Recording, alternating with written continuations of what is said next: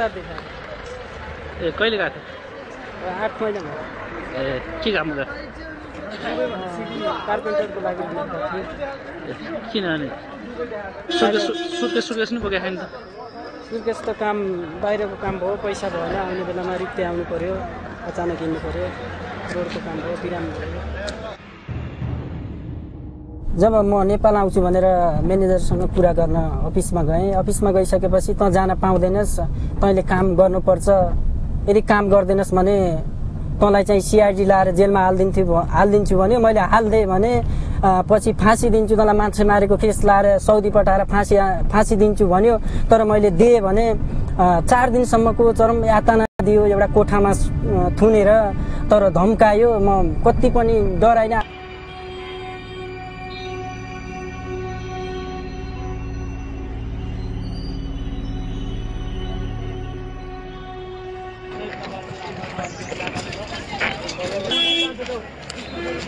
दुईजना भाइ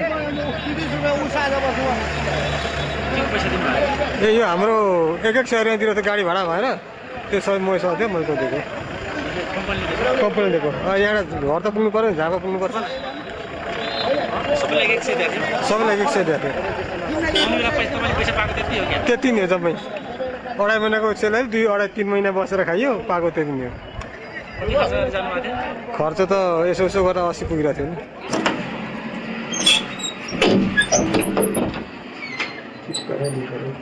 कस्तो लागिरहेको छ त नेपाल आउँदा? नेपाल आउँदा के गर्ने सर? एकपल्टको गरेको जुनै बात जस्तो भइरहेको छ अब चाहिँ परिवारसँग भेटघाट गर्न पाइने हो। अनुभव कस्तो लाग्यो भने अब चाहिँ खाडी मुलुक भनेपछि आफू मात्रै चाहिँ आफ्नो सन्तान कोही नजाउँ जस्तो लाग्छ लाग्ने त्यति दुःख पाइरह्यो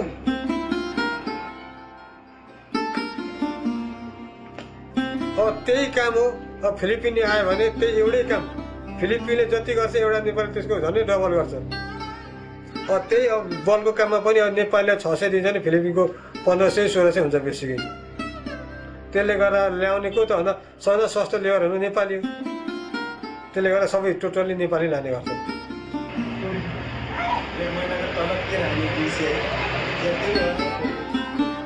अब नेपाली यहाँबाट जान्छ गएको दिनै अब पासपोर्टहरू सबले राखिहाल्छ। त्यसको भोलिपल्ट काम गर्न थाल्छ काम नै गर्छ।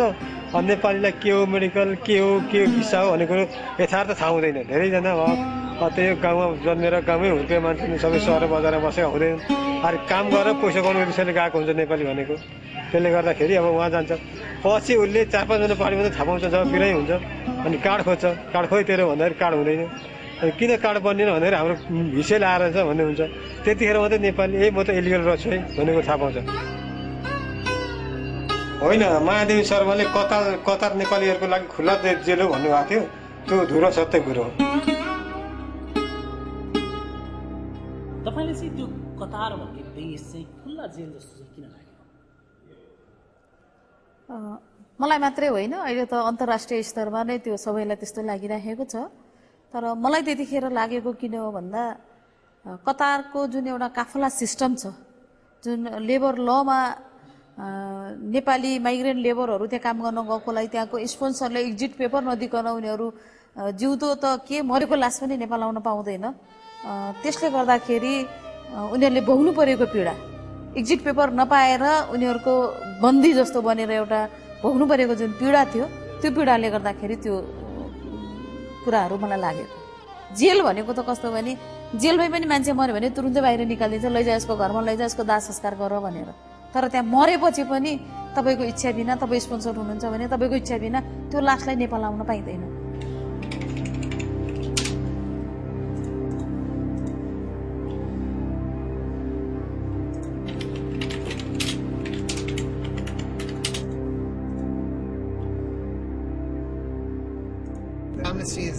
Is, at the end of the day about individuals. So I think the idea of meeting the individuals whose rights are being abused is really important for me. क्यों नहीं दे रहा है आप कंपनी हम लोग को नहीं? बोलता है काम करो। हम लोग काम करते देगा वर्कर है ना? जो बोलेगा वही करेगा। काम करो कल देगा पैसा। बोलता है आज काम करता है कल देगा। फिर बोलता है कल काम करता है। नहीं अभी पैसा परसों देगा। वैसे करते करते को डेट देता है तो अभी तक ऐसा हो गया? ग्यारह महीना हो गया। तो आप आपके घर पे कौन कौन है? नेपाल में आपके जो मेरा मम है डैड है भाई है दो बहन भी है एक बहन अभी यही चार पाँच महीना हो गया बीता हुआ। अच्छा क्या हुआ उनको? उसको अब क्या हुआ वही पैसा का प्रॉब्लम इधर उधर हुआ इधर क्या हुआ नहीं हुआ वो वो पंखा से फ़ैन से लटक के मर गया। मैं कितना जाने कोशिश भी किया नहीं जाने सका।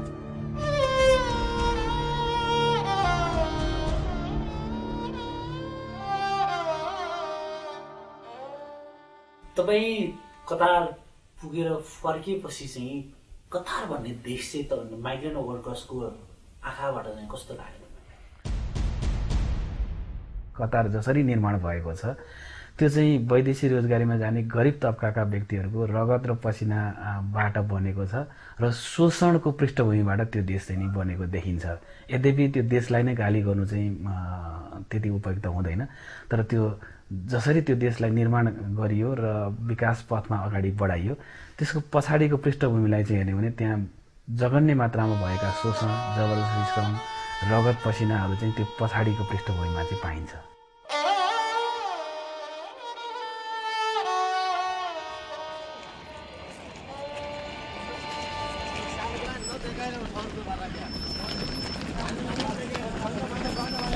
काम गर्दा अनुभूति सुनाउनुहोस् न हामीलाई। काम गर्दाखेरि एउटा अनुभूति हामीलाई के हुन्छ कि आज त बाँचिँदैन बाँचिँदैन होला जस्तो लाग्छ त्यो काम गर्दाखेरि चाहिँ। किनभने माथिबाट घामले सेकाइरहेको हुन्छ तलबाट त्यस्तै समुद्रको एकदम तातो हावा आइरहेको हुन्छ।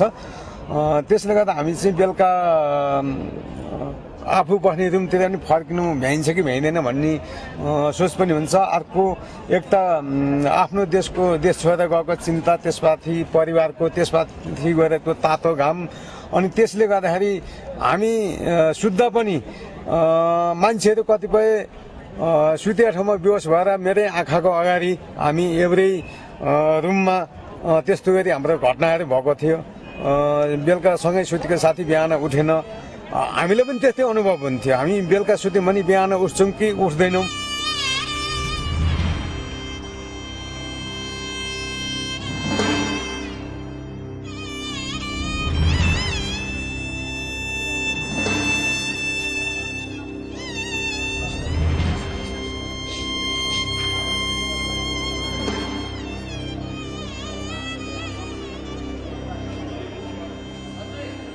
मैले चाहिँ यहाँ एयरपोर्टमा बस्दा धेरै मान्छेहरूसँग कतारबाट फर्केका धेरै कामदारहरूसँग कुरा गर्दा चाहिँ तपाईँको यहाँ जे कन्ट्र्याक्ट यहाँ गरिएको छ नि त्यो कतार पुगेपछि चाहिँ यो कन्ट्र्याक्ट चाहिँ फेरिन्छ त्यहाँ गएर अर्को कन्ट्र्याक्ट हुन्छ भनेर भन्ने मैले सुनेको छु।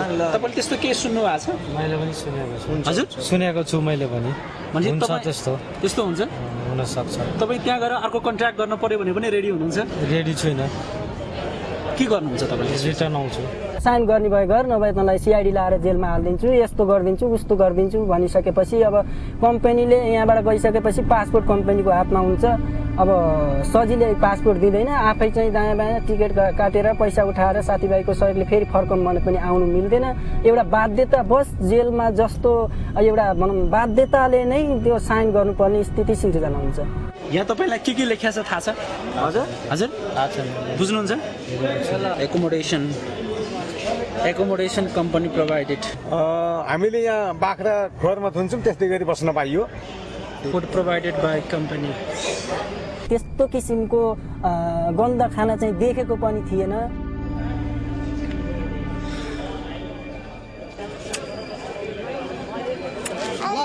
म बोक्नुहोस् ल ल तपाईँ आएको ल ल ल छोडा।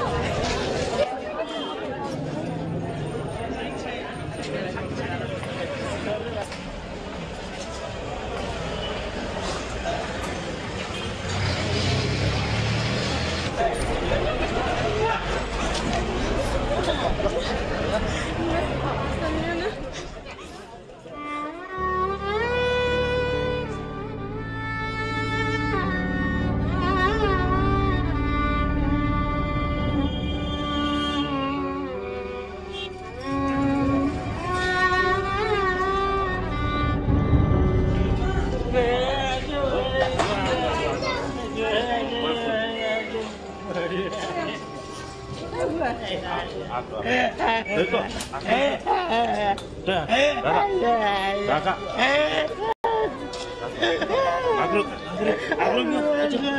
Aja. Aja. Aku tuh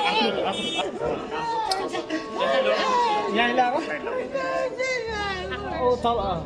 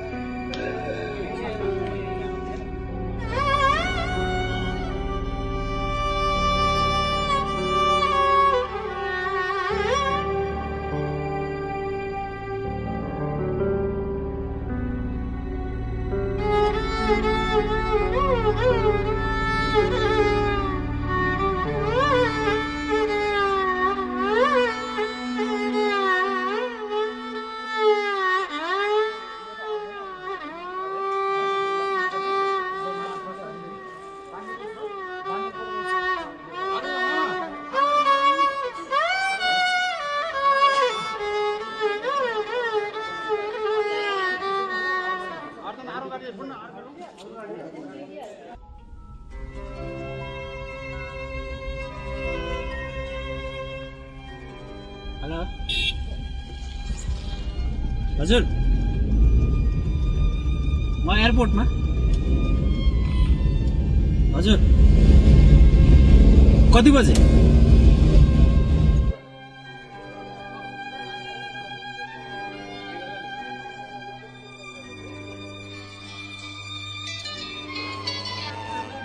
hello.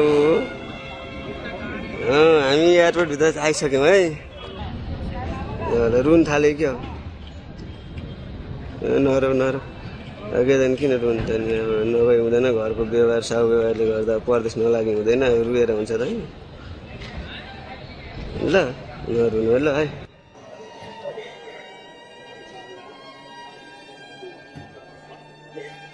तपाईँ चाहिँ खास किन जानु लाग्नु हजुर के अब घरको व्यवहारले गर्दाखेरि अब परिवार निकै छौँ आठजनाको। ऋण छ ऋणले गर्दा हिँड्न पर्छ परदेश नभए नहुनु। के काम गर्नुपर्छ हामी लेबर काम लेबर अब के काममा परिने अब गइसकेपछि अब जुन काममा लगाइन्छ अब खटेर गर्नै पऱ्यो है। घरको व्यवहारले चाहिँ गइसकेपछि अब व्यवहार बस्ने हिसाबले गर्नै पऱ्यो नि त काम त।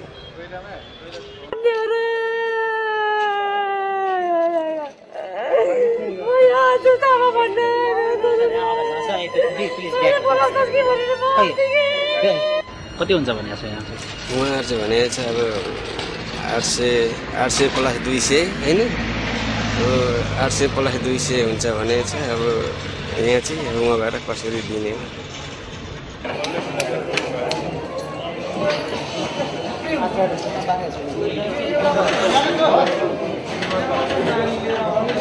कति वर्ष फर्किनुहुन्छ अब? दुई वर्षमा राम्रो भयो भने अब दुई वर्षको एग्रिमेन्ट छ दुई वर्षमै फर्किने होइन? राम्रो भएन भने अब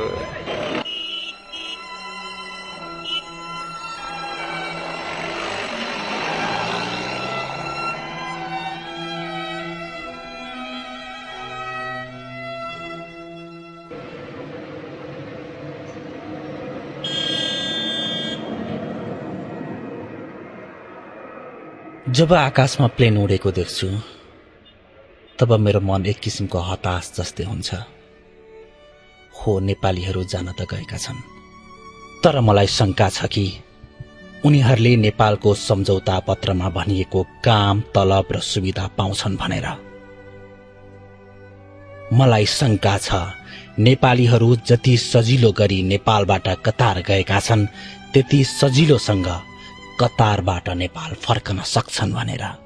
मलाई गम्भीर शङ्का छ कि कुनै भवितव्य परेर नेपाली कामदार दुर्घटनामा परे भने उनीहरूले उचित क्षतिपूर्ति पाउँछन् भनेर। नेपाली राजदूतावासका अनुसार सन् दुई हजार तेह्रमा कतारमा एक सय सतासी जना कामदारको मृत्यु भएको छ।